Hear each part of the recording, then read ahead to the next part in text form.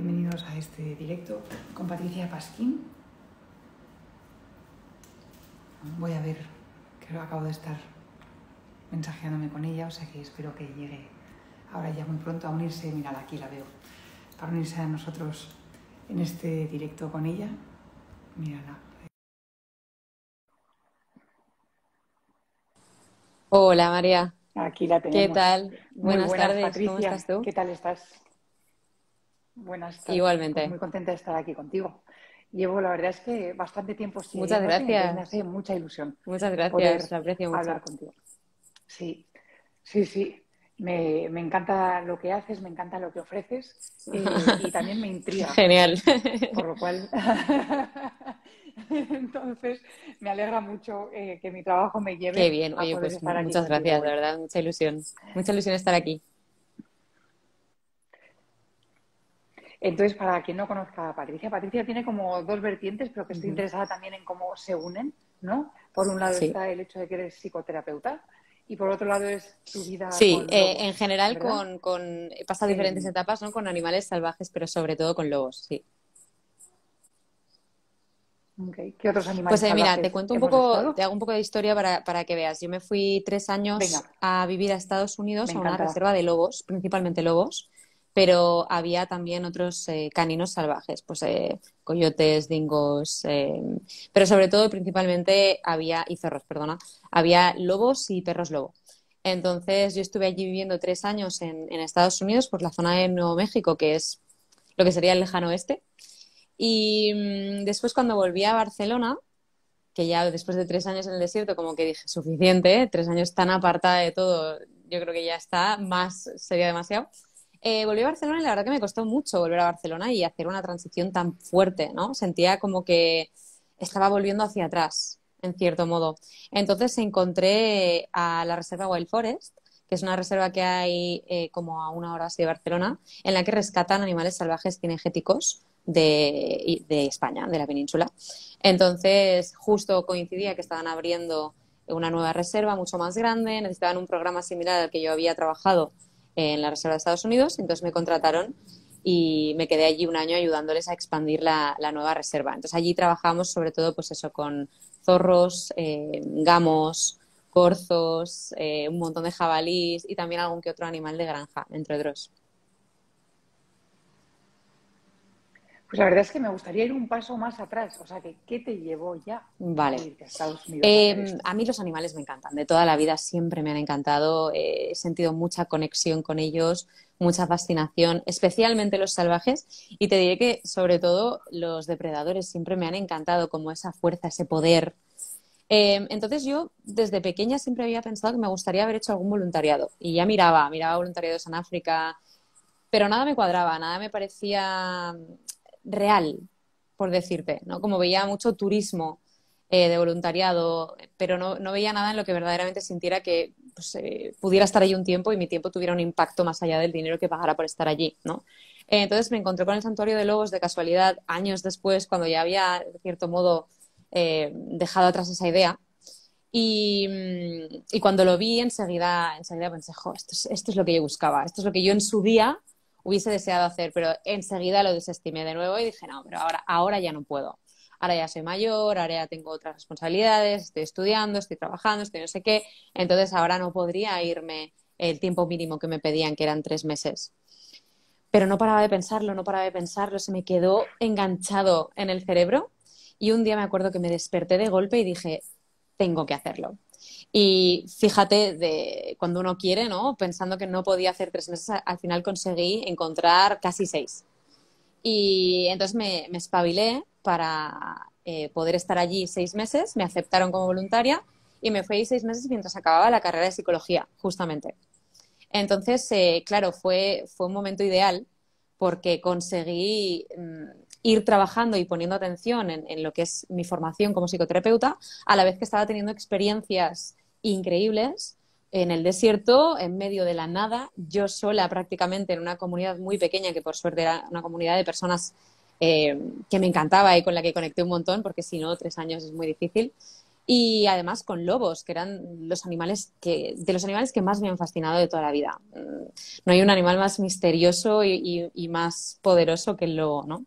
Entonces, eso es lo que te. Es una de las cosas que, más me atraen. Es como que siempre he tenido cierta atracción hacia, hacia la aventura y, hacia lo desconocido, ¿no? Y, y, el lobo es un animal que me acuerdo incluso de ser pequeña y ir al zoo y nunca conseguir ver al lobo porque eran los únicos que de verdad se escondían, ¿no? O por lo menos que les daban la opción. Pues, no quiero ya entrar en el tema de los todos, pero, em, pero eran los únicos que, podían esconderse y, que era imposible verlos.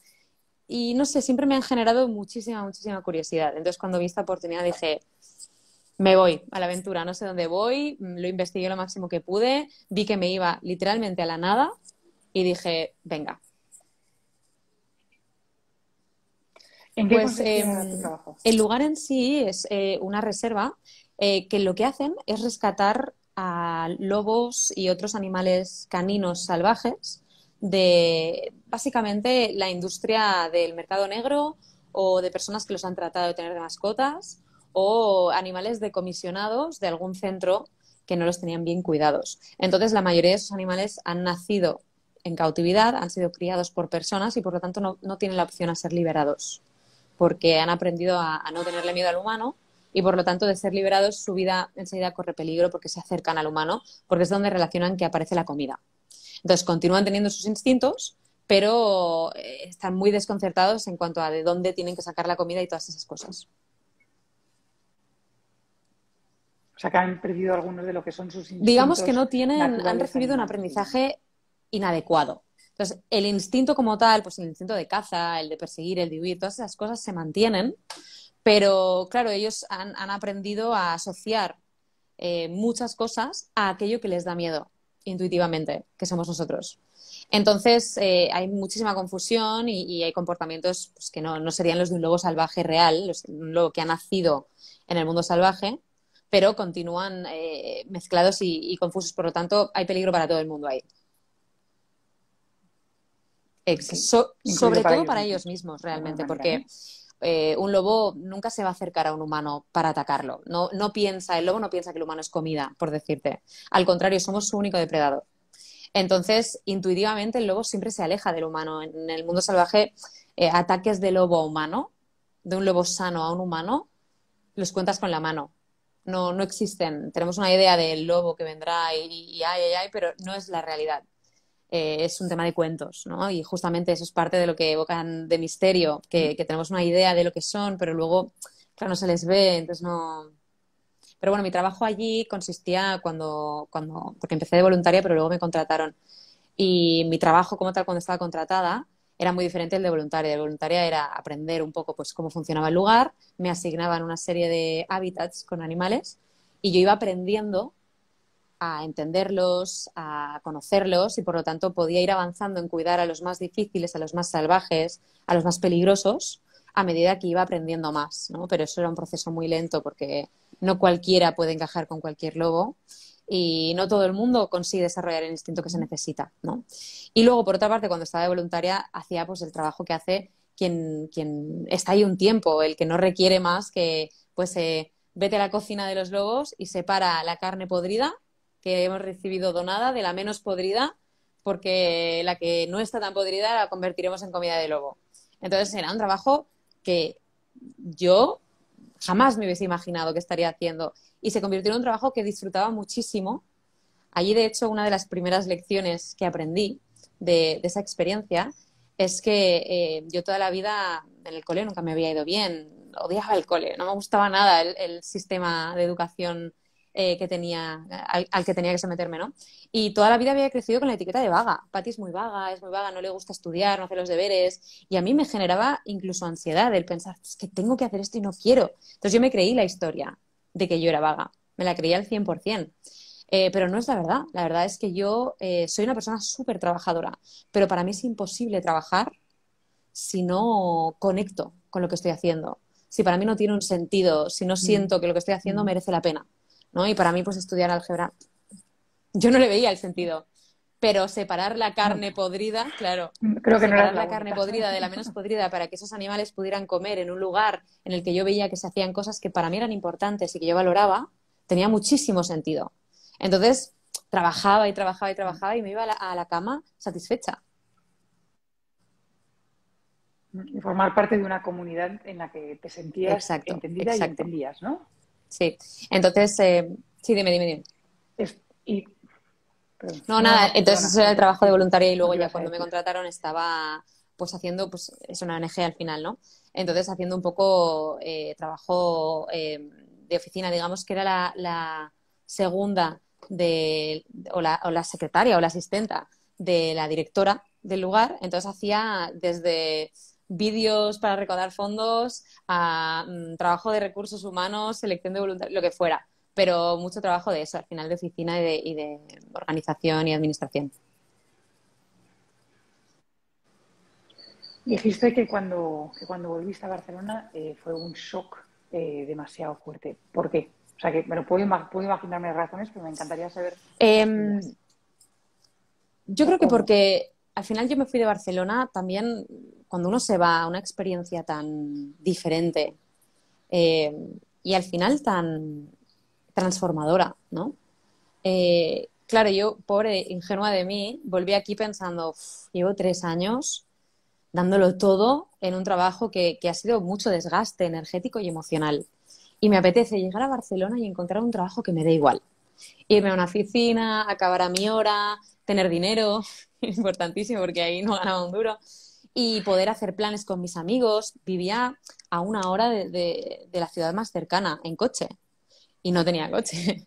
Entonces vivía en la nada. Eh, no podía irme a tomar una cerveza al final del trabajo, ir a ver una peli al cine, cosas así. Entonces quería un poco volver a esa vida normal, pero yo había vivido una transformación muy grande y a mí ya no me valía el volver a hacer algo que me daba igual y esforzarme por algo que ya me costaba esforzarme por algo que me daba igual, ¿no? Pero de repente es como que sentía que eso es lo que quería y ese fue un, gra- un gran error, no, no, no podía volver atrás. Yo ya no era la misma persona, ¿no? Entonces, No podías volver a la vida de antes. Exacto, tenía que encontrar la manera de eh, encajar el mundo de antes con la persona de ahora, sin dejar detrás a la persona de ahora, ¿no? Y, tardé un poco en darme cuenta, de hecho me acuerdo que tuve una conversación con una muy buena amiga mía que, que me veía y me, y- me veía y no me veía bien. Y un día me vino y me dijo, Pati, es que creo que te estás equivocando, estás yendo hacia atrás. Y dije, ostras, es que es verdad, tengo que encontrar algo que signifique, ¿no? Y, y yo había estudiado psicología ya, pero, pero claro, no había, no había, no había hecho nada relacionado con la psicología, entonces tampoco veía cómo podía empezar en el mundo de la psicología y me sentía verde. Entonces de pronto apareció la, Reserva Wild Forest, la encontré, les escribí, coincidió, se juntaron los astros que necesitaban justo una persona como yo y acabé pasándome un año eh, viviendo entre eh, un poco en Barcelona y un poco en, en un tipi literal nativo americano que tenían allá, eh, ayudando a, a crear la nueva reserva, el nuevo programa de voluntariado, todas esas cosas. Entonces, fue maravilloso porque me permitió eh, tener un pie en un mundo y un pie en otro y a partir de ahí tener el espacio para encontrar la manera de, encajarme de nuevo, pero siendo yo de una manera auténtica, de una manera sin, sin necesitar traicionarme, digamos, eh, en, la en la persona que ya, ya me había convertido, ¿no? Entonces me fue muy bien porque me ofreció la oportunidad de empezar este Instagram en el que eh, me aseguré de que quería mantener las cosas que sentía que había aprendido y este Instagram empezó como eso, como una forma de escribir eh, experiencias y lecciones que había aprendido viviendo o que continuaba aprendiendo viviendo con animales salvajes. Y, mm, es un poco lo que sentía, ¿no? Sentía un poco que, que había pasado de conectar con mi yo más salvaje, con mi yo más auténtico, porque al final eso es un poco lo que relaciono con salvajes, es la parte auténtica que no ha sido contaminada por el mundo eh, pues en cautividad en el que acabamos viviendo ¿no? en esta sociedad y, mm, y tratar de aportar esas lecciones a, a este mundo en el que me estaba volviendo a introducir. ¿no? Entonces a partir de ahí tuve suerte, el Instagram empezó a ir muy bien, empecé a, a formarme más en, en poder ser terapeuta y a partir de ahí en el confinamiento todo se dio.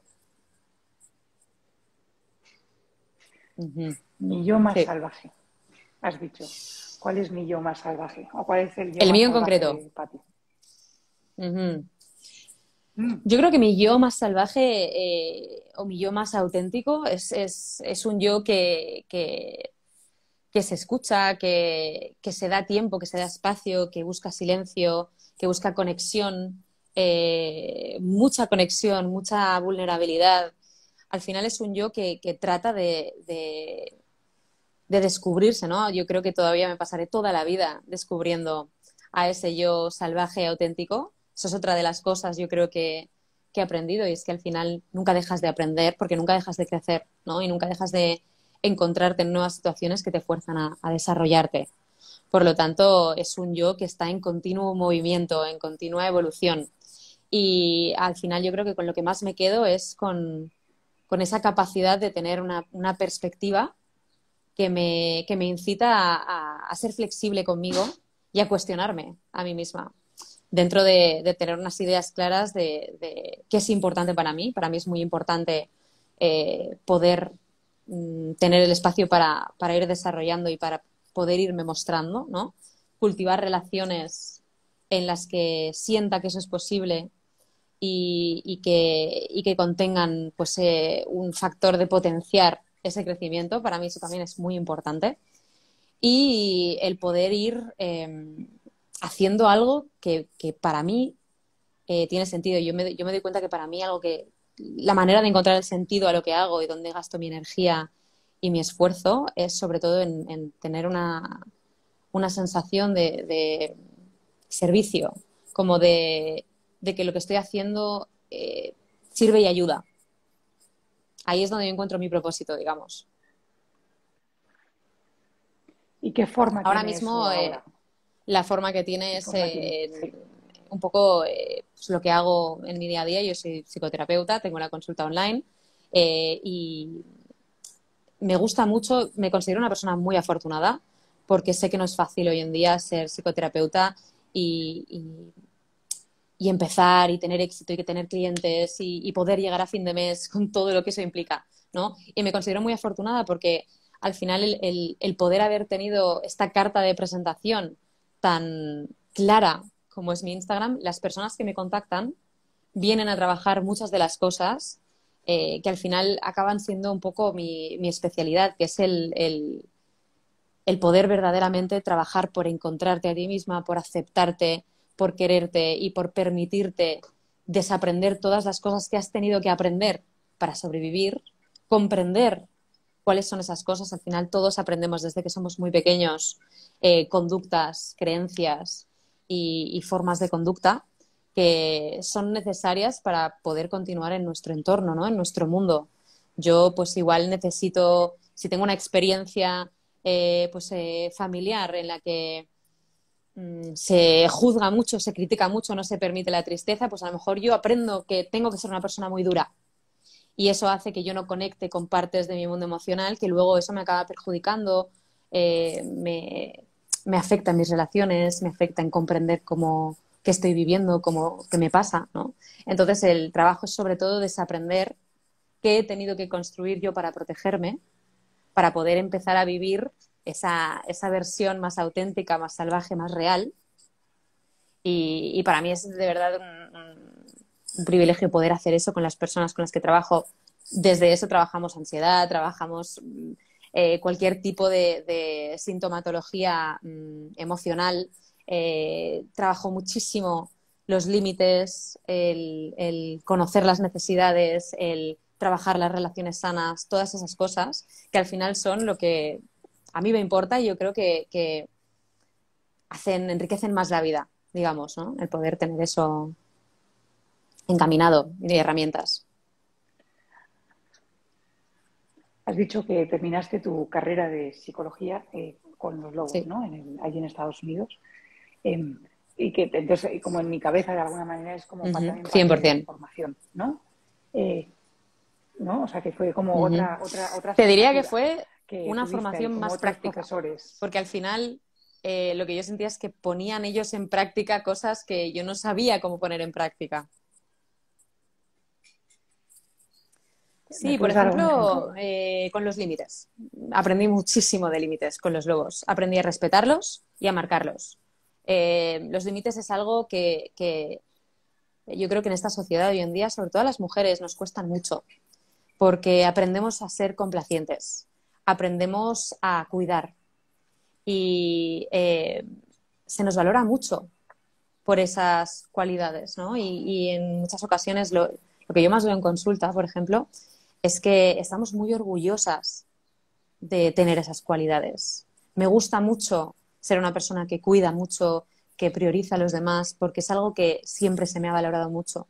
Y como tendemos a identificarnos con las etiquetas y las cosas que, valoramos de nosotros mismos, pues a lo mejor una parte muy importante que yo considero de mi identidad es esa faceta mía de persona que cuida, ¿no? Entonces, en el momento en el que eh, yo entiendo que igual estoy excediéndome y que me estoy descuidando a mí por cuidar a los demás, me encuentro en una tesitura bastante difícil, porque digo, vale, ¿qué hago? Empiezo a cuidarme a mí, a marcar límites, a decir que no, y por lo tanto, a sentirme mal, a creer que soy egoísta, o continúo haciendo lo que en el fondo sé que me hace daño, pero que, que yo creo que es lo que me da valor. Entonces, eh, claro, cuando te encuentras en una situación en la que de pronto estás frente a un lobo salvaje y si no le marcas un límite tajante, va a excederse, porque los lobos eh, son maravillosos, pero también son muy peligrosos. Y eh, dentro de su, de su, personalidad, de su intuición, según el animal, puede haber em, una personalidad pues muchísimo más provocadora, por ejemplo. O, eh, pues teníamos un lobo que lo llamábamos el psicópata de, de la reserva porque pasaba de tener muchas ganas de que lo tocaras a un poco como un gato, ¿no? El gato lo tocas una vez demasiado y de repente te empieza a atacar. Pues había eh, cosas así, ¿no? Entonces, tenías que tener muy claros tus límites y cuando alguien empezaba a sobrepasar esos límites para tú poder marcar y decir no. Entonces, aprendías herramientas para marcar límites con un lobo. Eh, te pongo una situación. Me acuerdo una vez que me entrenaron para entrar en uno de, los hábitats más peligrosos, que tenía una manada de dos, eran dos hermanos, un lobo y una loba, árticos, eh, que eran de los más peligrosos porque les gustaba generar situaciones eh, para ellos al principio de juego, pero el juego muy rápido puede pasar a, escalar a algo serio o a caza. Al final son depredadores, ¿no? Y el instinto es muy fuerte. Entonces eh, les gustaba picar, intimidar molestar y ver si pues resultaba que tenías un poco de personalidad de fresa y a ver qué pasaba, ¿no? Entonces tenías que, ir con mucha seguridad y con unos límites muy claros y además eh, sin ningún tipo de patosismo, porque entonces estabas eh, jodido. Entonces eh, me acuerdo que me estaba, estaban entrenándome y el, funcionamiento de cómo, funciona, de cómo te entrenan para, empezar en un hábitat nuevo eh, son tres días con, la persona que te forma, que normalmente en un hábitat así es la directora o la jefa del departamento de los animales. Y el primer momento es simplemente entrar en el hábitat y ver cómo se comportan contigo, ¿no? Y a partir de ahí es eh, empezar a hacer cosas, pues todo lo que se tenga que hacer en ese hábitat con la persona dentro y el tercer día con la persona fuera. Y entonces a partir de ahí, si todo va bien y te ven bien, eh, normalmente estás entrenado. En un hábitat así, pues igual hay dos días más en los que se quedan fuera asegurándose de que todo esté bien. Y recuerdo perfectamente el primer día que me quedé sola en ese hábitat, que el macho se llamaba Titon, eh, le llamaban el, pack de las montañas y los dos tenían nombre de montañas estadounidenses, Titon y Shasta. Y Titon, el macho, eh, me acuerdo que en cuanto yo entré, entras con un cubo y con un aza y una pala para recoger cosas, tal, y no tener que agacharte. Entonces, eh, yo me acuerdo que iba con mi cubo, iba con mi pala, y tal cual empiezo a caminar, empecé a notar una presencia detrás de mí. Y entonces, en todo momento, yo sabía que una de las cosas que tenía que hacer era asegurarme de que él sabía que yo sabía que estaba allí, que no me estaba engañando, que no estaba eh, pasando desapercibido, ¿no? Entonces, parte del ejercicio es hablar mucho en voz alta, decir no continuamente. Y yo me acuerdo de estar caminando por ahí, era un hábitat que era, o sea, pendiente, rocas, muy fácil tropezarse. Y el objetivo principal que yo tenía era, uno, no tropezarme, porque si me tropezaba, fiesta. Y dos, em, asegurarme de que ellos entendían que yo estaba allí muy consciente y muy eh, firme, ¿no? Entonces yo estaba todo el rato caminando por allí expresándole, sé que estás allí, sé que estás allí y no me vas a engañar. Y cada vez que sentía que se acercaba me giraba y tenía que literalmente poner una barrera física con el aza o con la pala entre el lobo y yo y decirle no, no. Y cuando yo se lo decía, él me miraba y no, no, sí, no hacía nada y continuaba y hacía esas cosas, ¿no? Y al final es continuamente ir aprendiendo a marcar límites. A la vez, si yo me sobrepasaba de cualquier manera, los lobos no tienen ningún problema en marcar un límite de una manera muy tajante. Entonces, ahí también aprendes a recibir un límite y no tomarlo personal, porque simplemente estaban marcando límites y me están diciendo, no, eh, no me gusta que hagas esto, no me gusta que me toques aquí, no me gusta que te acerques de esta manera, ni se te ocurra acercarte a mi comida, ¿no? Entonces, es como que se transforma mucho la relación que tienes tú con los límites. Si tienes que estar continuamente marcando o de repente, según como gritando un no. Yo no había en mi vida gritado nos a nadie. Entonces ahí aprendes a mm. alzar la voz por ti misma.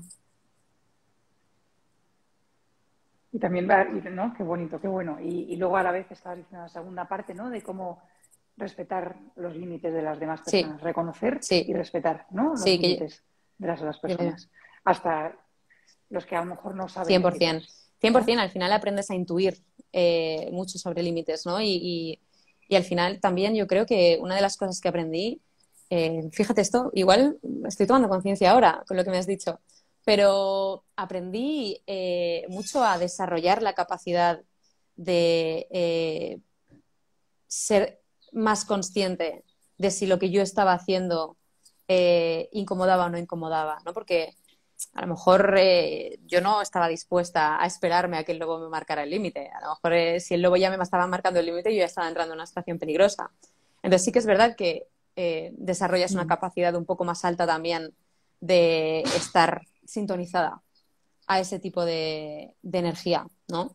Y si bien eso es algo muy útil, también te diré que para mí lo más importante, sobre todo, ha sido aprender a, no solo alzar la voz, sino a que alguien me marque un límite y poder separarlo de mí. Porque yo creo que esa es una de las cosas que más nos cuesta, ¿no? Si, si yo voy... Exacto. no es personal. A mí, eh, por lo general, a día de hoy, si alguien me dice, oye, mira, es que no me apetece, genial. Lo entiendo, no, no has de darme mucha explicación. Depende del día, ¿no? O depende de la situación. Igual sí mm. que digo, ostras, en serio, pues qué lástima, porque.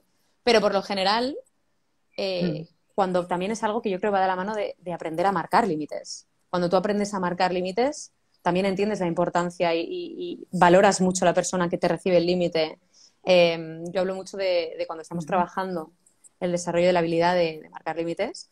Em, yo hablo mucho de identificar a personas seguras, de personas no seguras. Es decir, pues igual hay personas con las que tienes más confianza eh, o que por cómo son o por tu relación con esas personas te vas a sentir más a salvo empezando a marcar límites, ¿no? Entonces, al principio está bien identificar a esas personas y empezar a trabajar con ellas.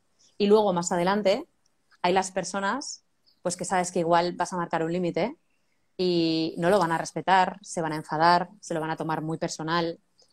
Y suelen ser personas que también tienen dificultad para marcar límites. Normalmente si no sabes marcar un límite, te va a costar mucho aceptar un límite, porque si, si yo no te lo marco a ti, si yo no me respeto a mí, si yo no me valoro a mí, si yo te antepongo, ¿cómo puede ser que tú no me antepongas a mí? Lo hacemos muy personal. Total. Tengo unas cuantas palabras eh, que tengo aquí anotadas y me encantaría, eh, si te va bien, que me dijeses vale. qué te han enseñado eh, los logos, ¿vale? Sobre ello. A lo mejor algunos vale. María, ¿sabes qué? ¿Qué son nada? Puede ser, puede ser. perfecto, tranquila. lo haré sin problema.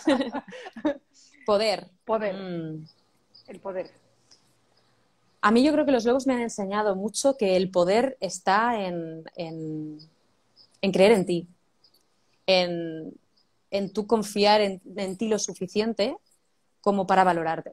Al final yo creo que esa es una de las maneras en las que eh, yo más, más lo he visto, ¿no? Más, más me lo han reflejado. Es justamente en, por ejemplo, ¿no? Eh, al final todo se relaciona mucho, pero el poder está en la seguridad con la, que, con la cual tú mm, vas por la vida, dices las cosas, porque si tú no sientes, no crees en ti, eh, no pisas medianamente firme, todo lo que haces o, todo lo que expresas o todo lo que tratas de compartir, como que pierde un poco, ¿no? Si tú no confías en ello, eh, es como que su, nivel energético es, menor, mengua. Entonces yo creo que para mí de lo que más he visto es eso. O sea, yo no he visto, eh, a ver, que también te digo, los animales, los lobos son animales súper miedosos, pero cuando un lobo tiene claro lo que quiere, por ejemplo, la hora de comer, ahí ves todo el poder, porque se va con una confianza, con una firmeza, con un esto es mío y voy a por ello, nadie me lo puede quitar. Ahí hay muchísimo poder en el creer en ti mismo. Eso es algo que lo he aprendido de ellos, sin duda. Vale, está medio relacionado, wow. pero jerarquía. Sí, está muy relacionado. Eh, qué interesante, porque la jerarquía es un tema que me gusta mucho porque si bien, eh, como mucha gente sabe, los lobos viven en, una escalera jerárquica, ¿no? Eh, tienes a los alfas, que bueno, es que es verdad que podríamos entrar en ese tema, es más complejo de lo que normalmente sabemos, pero normalmente tienes a los alfas que suelen ser los padres, eh, el macho y la hembra, que son pues, los padres de la familia. Al final una manada es una unidad familiar, ¿no? Y sí que es verdad que por personalidad, por energía, por intereses, se forman los roles dentro de la jerarquía, ¿no? Y yo creo que en nosotros es muy similar. Em, y de hecho yo creo que, igual somos de las especies más jerárquicas que, existen en el mundo, porque em, lo hablo mucho también en, terapia esto con mis clientes. Eh, tendemos a jerarquizar mucho a la gente nosotros y en función a la jerarquía que le damos a las personas, vamos a valorar más lo que nos dicen, a desestimarlo más, eh, a sentirnos más cómodos expresándonos o, siendo nosotros mismos. Eh, tendemos a tener más miedo a ser nosotros mismos delante de personas que hemos subido en la jerarquía, ¿no? Y al final yo creo que lo que más he aprendido es que la jerarquía es algo eh, completamente mental, completamente transformable. Allí pasaba una cosa muy interesante y es que a veces había que separar animales de la manada, pues porque al estar en cautividad las manadas que tenían más de, más de un animal, o sea, perdona, más, más, de dos, más de un macho y una hembra, que solíamos tenerlos en macho y hembra porque entonces los dos eran alfas. Y no había problemas de jerarquía, pero si había más de un animal, entonces ese tercer animal se convertía en el omega por, por defecto. El omega es, es el más bajo dentro de la jerarquía. Y si empiezan a haber más, pues entonces ya pues, empiezan a colocarse según, ¿no? Pero si solo hay tres y, y dos de ellos son machos o dos de ellos son hembra, uno de esos machos o una de esas hembras van a ser el omega de la, manada, por defecto, el más bajo. Entonces, el omega es un, es un rol eh, fascinante porque es, eh, depende de la manada, se llevará, será de una manera o de otra, pero suele ser eh, la fuga de tensiones. suele ser el animal a través del cual, si hay mucha tensión, pues a lo mejor lo acoso o a lo mejor eh, viene él y, me chupa mucho, se, chupaban mucho entre ellos y entonces la atención iba a él. Es como la manera de descensar, ¿no? Y, eso puede ser de una manera más eh, violenta o más pacífica, dependiendo de cómo sea también el alfa. Eh, todo tiene que ver con las personalidades, ¿no? Pero al final los, los, alfas suelen ser personalidades más líderes, más serias. Curiosamente, son los que tienen niveles de cortisol más alto también. Se pensaba que serían los omegas porque son los que reciben más caña, pero al final es mucho más estresante tener que estar continuamente demostrando que eres el líder que eh, mantenerte en tu posición en la que a veces eh, te, te, hacen algo que no te gusta o que, o que lo que sea, ¿no? Pero en cautividad, que me estoy yendo por las ramas, em, en cautividad eh, hay una problemática dentro de una manada en la que hay un omega, y es que como hay vallas, el omega cuando se empiezan a pasar no puede continuar yéndose y desaparecer y que se bajen las tensiones sin ser la víctima, digamos, ¿no? Cuando hay vallas, todo incrementa. Entonces, si tenemos un omega en una manada al que machacan demasiado, que, de pronto su vida entra en peligro, entonces el funcionamiento de la reserva era coger a ese animal, sacarlo de esa manada y o separarlo en otro hábitat solo hasta que se le encuentre a una pareja o llevarlo con otro, con otro lobo eh, pues que también estaba buscando, que estaba solo por lo que sea, ¿no? Entonces es muy interesante porque un lobo me acuerdo mucho de una vez que sacamos a una hembra de, de su manada, que era una manada con la que se había criado toda la vida. Pero de pronto, no el alfa, sino el que estaba justo por encima, eh, había decidido machacarla un montón y generar mucha tensión. Y cuando uno va por otro, si el otro eh, es débil y, hace sonidos eh, muy agudos, eso despierta el instinto de ir todos a por él y de matar. Entonces, claro, si, la tensión no para de subir, no para de subir, no para de subir, el chillido no para de subir y el instinto se hace más, más grande, ¿no? Entonces, tuvimos una ocasión en la que pareció que empezaba a tirar por allí y decidimos sacarla Llevaba toda la vida siendo la Omega, toda la vida. Eh, toda la vida siendo mm, al final el, saco, digamos, ¿no? Eh, adoraba a sus hermanos, ellos la adoraban a ella, pero en momentos de tensión esa era la dinámica. Entonces, con mucha pena, decidimos separarla porque sabíamos que se iban a echar de menos. Pero la separamos y la pusimos en el hábitat de al lado, que coincidía, que eh, estaba disponible y en el cual había un macho que se acababa de quedar soltero, digamos, ¿no? Entonces se llevaron bien y ella pasó al hábitat de al lado y de pronto, en su nuevo hábitat, en su nuevo entorno, ella era la alfa. Y la dinámica que tenía, de pronto, vaya con vaya, con su, con su familia, con la que se había criado, ella había cambiado por completo. O sea, la manera de, moverse, de, caminar cerca de la valla, de, de la postura, al levantarse, todo había cambiado por completo porque para ella el mundo entero, sus posibilidades, su entorno, eh, sus relaciones se habían transformado. Entonces, eh, esto me pareció una lección brutal en jerarquía, porque realmente es que todo está en, nuestra mente, en cómo nos percibimos, en cómo permitimos que nos perciban y que nos traten. Sí, como, ¿no? O sea, me, vienen tantos paralelismos, ¿no? De colegios o trabajos o cosas así, ¿verdad? Y de, y de, que a lo mejor lo que hay que hacer a veces es cambiar, o, o sea, que, ¿no? Pero, o sea, que los paralelismos son enormes en el mundo humano también, de cómo se crean estas relaciones y además casi no sabes por qué se han creado estas relaciones, pero como que cada uno se amolda a este lugar que te ha tocado en esta en esta Exacto. en este grupo exacto y es, es fascinante pensar en cómo por ejemplo las familias no nos, nos eh, empezamos a crecer desde muy pequeños en una eh, cultura familiar al final, ¿no? Y, con una forma de pensar, eh, con unas normas de relacionarnos, eh, con cosas que están bien, cosas que están mal. Y de pronto empezamos a hacernos mayor y tenemos la posibilidad de salir. Y es curioso como en cuanto volvemos a, la familia, por lo que sea, ¿no? Muchas personas lo han vivido, por ejemplo, en el confinamiento, han tenido que volver a casa, por lo que sea.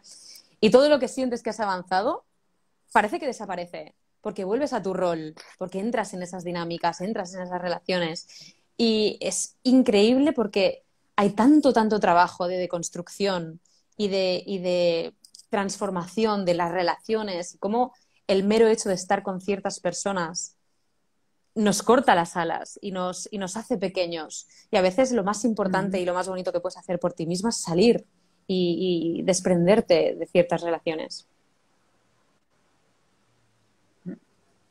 Qué bueno, qué bueno. Venga, voy con la próxima palabra, ¿vale? Y esto puede ser lo que has aprendido de los lobos o lo que has aprendido tú trabajando con los lobos también, ¿vale? Em, seguridad. Crear, seguridad, en qué sentido te refieres? Eh, ¿Contigo misma o, en tu entorno? Como ah, crear, un lugar crear un lugar, crear en, tu entorno o crear un lugar mm. seguro. Em, también es, es, que, claro, yo te, puedo meter cada chapa. Em, pues no, no, parece. Esto me viene, me viene mucho a la mente em, como la, situación, al final, en los lobos eh, era como un santuario, ¿no? Era un refugio, un santuario en el que eh, los lobos venían a veces de circunstancias eh, muy duras, muy crueles o muy inseguras y pasaban a vivir a un lugar que estaba completamente enfocado justamente en eso, en crear un lugar seguro para que puedan vivir el resto de sus días y puedan sentirse a gusto, ¿no? Y según el, lobo y la personalidad, eh, pues se le ponía en un sitio, se le ponía en otro, con una pareja, con otra, o en una manada o en otra, ¿no? Y em, es increíble lo que podías llegar a ver de la transformación de un animal. Me acuerdo que teníamos a, uno de, los, de, mis lobos em, final más, más amados, digamos, con los que más conecté. Eh, era un lobo tuerto, bueno, tuerto al final, pobre, luego, luego ya al principio no lo era, pero un lobo tuerto que se llamaba Nazaret, Naz, em, que llegó junto a otra loba, Naz y, Angel, ¿no? Y los dos llegaron de un hombre que los había tenido desde que eran muy pequeños, en una especie de, como un chenil, una, una jaula grande, digamos, eh, los había tenido ahí toda la vida en el jardín, él los paseaba y la paseaba sobre todo a ella porque él no se dejaba. Él era, él llegó, ¿no? Llegó y nos dijeron, bueno, ella es un poco más sociable, un poco más tranquila, él no, él, él es más, tiene más miedo eh, y es más reactivo. Y no se va a dejar tocar por nadie, eh, se siente acorralado muy rápido, es muy miedoso, ¿no? Y, y llegaron los dos, los pusimos en un hábitat y mm, al principio lo que se hacía es que todo el mundo medio pasa por allí y se ve con qué animales, hay con qué personas están más tensos los, lobos para ver pues qué tipo de persona le gusta más y empezar a asignar a su posible cuidador, ¿no? Y pues coincidió que conmigo, eh, él en concreto, que se suponía que era el, más miedoso, se sentía un poco más cómodo porque no, no, se iba al fondo del hábitat y se escondía, ¿no? Entonces me dijeron, vaya, pues Pati, te, te vas a encargar, eh, vamos a ir poco a poco entrenándote y te vas a encargar tú de cuidarlo porque parece, de cuidar los porque parece que está más cómodo contigo. Y yo, vale, genial. Eh, total, que me, tocó estar allí de cuidadora con ellos y poco a poco yo vi una transformación increíble en la personalidad de él porque pasó de vivir en un lugar en el que estaba tenso, donde había ruidos de coche, donde todas las cosas para él eran una amenaza, a encontrarse en un lugar en el que había rutinas, horarios, comida siempre, eh, siempre a la misma hora. Entonces, eso le generó unas, a, a, todos ellos les generaba muchísima seguridad, el entender perfectamente qué es lo que pasaba en el día a día, ¿no? Y cuando de pronto se sintió a salvo, empezó a poder relajarse y por lo tanto empezar a formar un vínculo.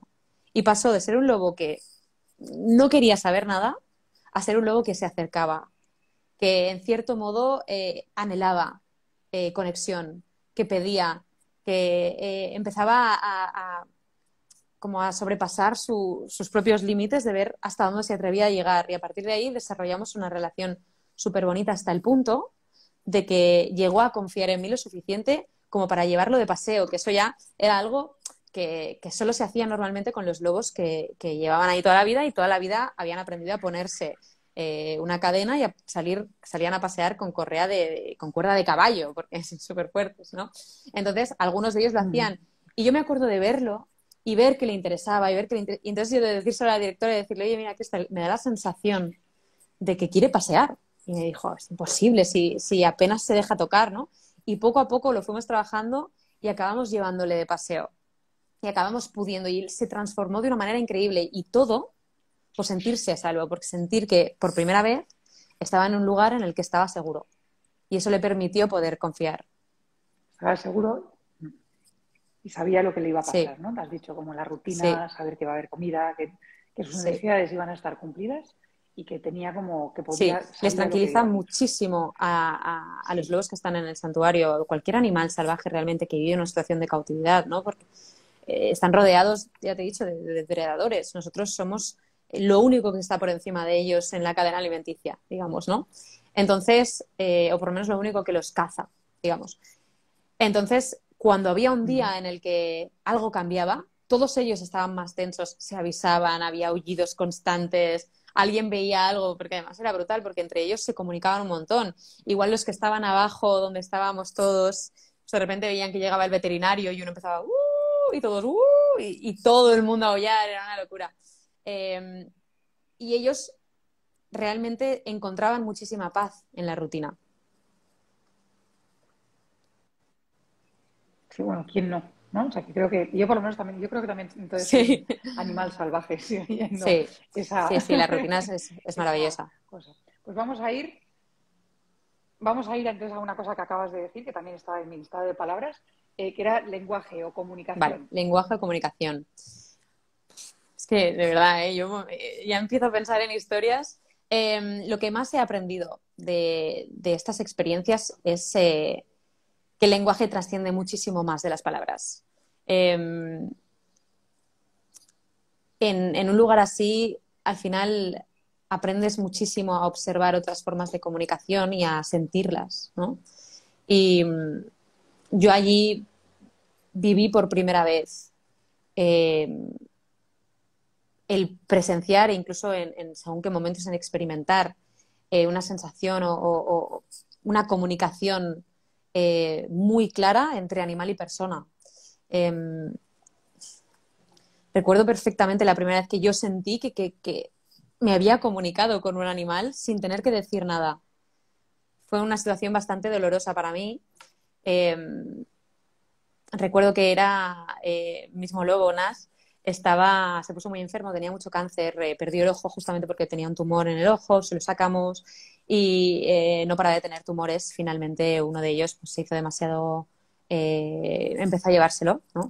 Y mm, recuerdo que yo justo estaba de viaje mm, a cinco horas y me escribieron para decirme que, creían que se estaba muriendo, que le quedaba pues uno o dos días y que estaba empezando a tener un fallo general y que iban a llevarlo al veterinario, ¿no? Y yo eh, pues dejé el viaje, volví y yo quería estar allí.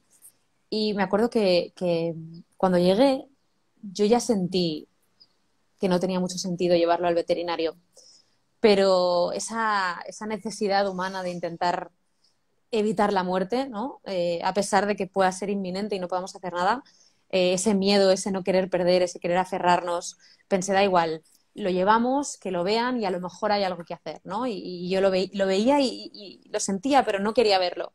Y recuerdo perfectamente que lo empezamos a, poner dentro del transportín, como a incitar a que él se metiera. Empezamos a sacarlo y en ese momento apareció Ángel, que era su compañera, que no se acercaba porque curiosamente él empezó a acercarse más y ella empezó a vivir una vida mucho más independiente. Y me acuerdo que en ese momento vino directa hacia mí me miró a los ojos, cosa que no hacía nunca, y yo sentí que me estaba diciendo, por favor, no te lo lleves. Se está muriendo. No te lo lleves. Deja que se muera aquí conmigo. Se pone la piel de gallina solo de... Yo también. No, a llorar. Yo pero intento no. Em, y me acuerdo que lo vi y lo teníamos ya y no dije nada. Lo sentí clarísimo y no dije nada.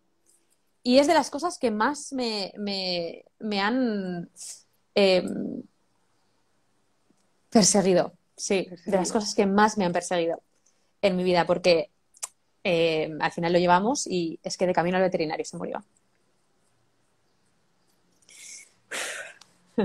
sí. sí. Sí, sí, sí.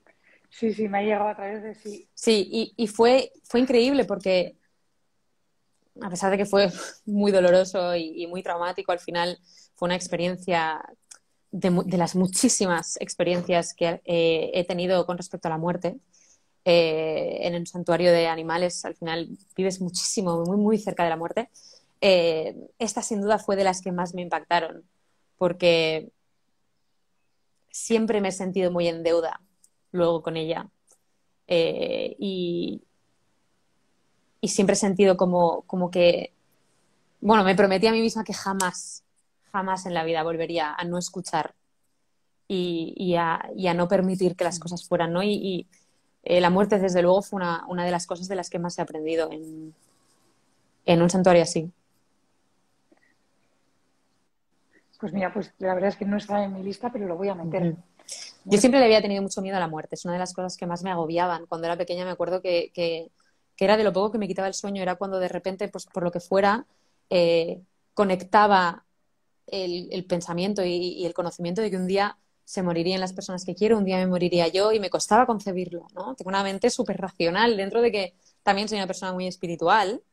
La espiritualidad es algo que he tenido que trabajar mucho porque mi mente tiende siempre a lo racional. Y mm, es donde encuentro mm, seguridad, ¿no? Y mm, eh, cuando me fui allí, claro, empecé a vivir eh, muchas experiencias de la muerte, muchos animales que morían. Y al final yo creo que fue el, trabajo de aprender a confiar en ellos, el, poder ver que ellos tenían una mayor comprensión de la naturaleza, de la vida y de la muerte, eh, de la que tenemos nosotros, de nuevo por esa desconexión, ¿no? Por, por esa desconexión de, lo que es lo natural que, vivimos los humanos, que vivimos en este mundo tan, tan eh, de cemento, tan doméstico, tan desconectado, ¿no? Entonces, eh, he vivido muchas muertes con ellos en los que he visto cómo ellos comprendían su muerte y se rendían frente a ella. No la luchaban, no la temían. Recuerdo una vez que había un lobo, eh, se llama Storm, que también era ártico, era uno que había nacido, no, no había nacido en la reserva, pero sí que lo habían traído cuando era un bebé, a él y a todos sus hermanos. Y mm, cuando él se empezó a morir, estaba, tenía, había tenido también cáncer, hay mucho cáncer entre los lobos eh, de este tipo, de los, que crecen en cautividad, porque hay mucho incesto en su cría. Es, Entonces, eh, tienen muchas enfermedades. Y Storm tenía, eh, me parece que cáncer en la glándula pituitaria o algo así. Y, empezó a morirse y veíamos muy claro que se estaba muriendo. Y lo habían criado el, que había sido el director y, la que ahora era directora. Tenían un vínculo con él increíblemente fuerte. Y recuerdo que, eh, bueno, en ese momento yo empezaba a tener un vínculo con él porque también estaba empezando a cuidarlo. Eh, era uno de esos lobos complicados que, puede ser muy simpático y de repente le da por morderte el culo y, como ya confías en él, ni te lo crees. Entonces, eh, era un lobo muy especial, con una energía, un poder increíble. Y cuando se estaba muriendo, el, que había sido el director, eh, Leighton se llama, em, empezó a pasarlo fatal. Fatal, era su niño, su bebé, era su, su, alma gemela. Para él, él se, se identificaba muchísimo con ese lobo y tenía un apego brutal. Y toda la vida habían estado juntos y Storm lo amaba a él. Y en el momento en el que Leighton entró para estar con él, a llorar, a sentir pena, a sentir tristeza, a hablarle. En ese momento, Storm, que llevaba dos días sin levantarse, cogió, se levantó y se fue a la otra punta del hábitat. Y dijo, no me interesa. No me interesa esta energía en mi proceso. Mi muerte va a ser tranquila. Va a ser solitaria si lo tiene que ser. Total, que cada vez que le entraba, se levantaba y se iba. Y Leighton lo vivía y lo sufría y decía, no lo entiendo, no sé por qué no me deja acercarme, yo solo quiero ayudarle. Y me acuerdo que entraba con una pipa de marihuana para intentar eh, que se le fuera el dolor y, que estuviera relajado. Y se levantaba y se iba, se levantaba y se iba, continuamente. Y Crystal, que era la, la directora, ella lo entendió enseguida. Ella es una persona increíble, de esta aprendido muchísimo de comunicación porque ella realmente es que se comunicaba con ellos de una manera más allá de, la lógica que tenemos en nuestro mundo, ¿no? Y, me acuerdo que en ese momento estábamos los tres, eh, apareció él, estábamos nosotras dos, apareció él, Storm se levantó, se fue, y me acuerdo que ella estaba muy frustrada porque pensaba, mierda, no voy a poder estar con él porque él siempre, porque Leighton siempre entra, entra con esta energía y Storm no la quiere. Entonces se va a acabar muriendo solo y voy a tener que respetar que no voy a poder acompañarle en este proceso porque él quiere vivir una muerte con presencia y sin miedo. Entonces, efectivamente, un día que Cristal me dijo, es que sé que se va a morir esta noche. Siento que él me ha dicho, déjame tranquilo, me voy a morir por la noche. Y esa noche se murió. Y yo sentí que lo vivía con tanta paz, con tanto conocimiento, de esto simplemente, ¿no? Para ellos era como, como yo sentía que era como un paso más. Algún tipo de trascendencia. Entonces, me ayudó mucho porque encontré mucha paz en esa forma de vivir la muerte.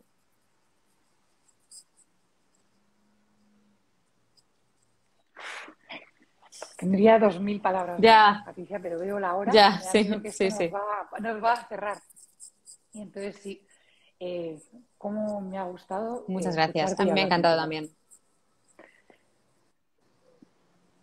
Te agradezco muchísimo. La verdad es que me has hecho pensar y sí, sí, creo que por los comentarios que voy viendo aquí, creo que no soy la única a quien has, a quien has llegado. Yo, claro, como estaba hablando, no, he podido ver casi nada, la verdad, no me he enterado. Si me he perdido alguno malo, me sabe. había ¿Hay alguno de, alguno de alguien? Sí. No, no, eh, no, no, había muchos mensajitos, pues de, había muchos, ahora muchos corazones en mucho momento dado, ¿no? Y de cómo eran, han sido tus maestros, lo que les gusta escucharte, ¿no? Y sí, Muchas gracias a, ti, María. Hacía mucho que no hablaba de esto, me hace mucha ilusión. Así que nada, cuando quieras eh, y ha sido un placer, de verdad. Sí. Muchas gracias. Adiós, igualmente. Un abrazo muy fuerte. Gracias Un por abrazo a escuchar. todos los que habéis estado.